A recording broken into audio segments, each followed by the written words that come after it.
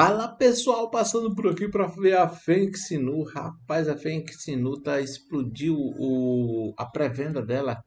Ela explodiu a pré-venda aqui no, no, na, na Pink Sailor.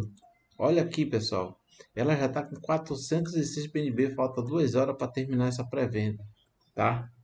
Então, o soft cap dela, que era 20 BNB, que era a cotação mínima dela para ser lançada, já ih, foi batida há séculos. Então, aqui, ela agora, nesse momento, está com 406 BNB, galera. Então, é muita grana. Esse projeto, ele quer bater na... na ele quer bater na, na Shibinu, ele. E, e a galera quer cortar é 3-0 nele, o pessoal, né? O pessoal que... Os devs que estão falando em cortar 3-0 nele.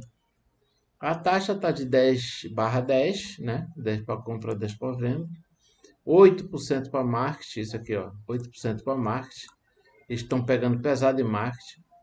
E queima é 2% para queima, né?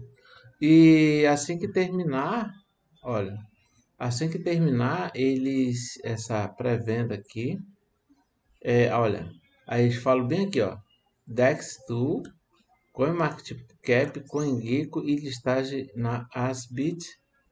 E, e é isso aí. Então, quer dizer que eles têm uma... Eles estão com vontade de cortar 3-0 nesse, nesse criptoativo e pelo que eu estou vendo, mano, só que já deu 406 BNB.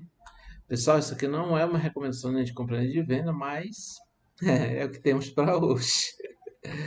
É o que temos para hoje, galera. Nós, é, foi conseguido aqui mil 219 holder aqui, ó.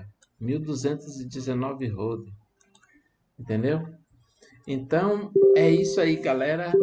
Explosivo esse lançamento da Fênix Inu aqui na, na Pink Sailor.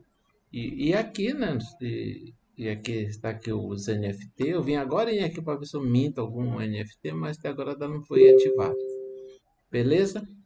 Então é isso aí, pessoal. Se você gosta desse tipo de conteúdo, se inscreva no canal e deixe seu like. Eu me chamo Zé da Script. Um abraço, valeu, tchau, fui!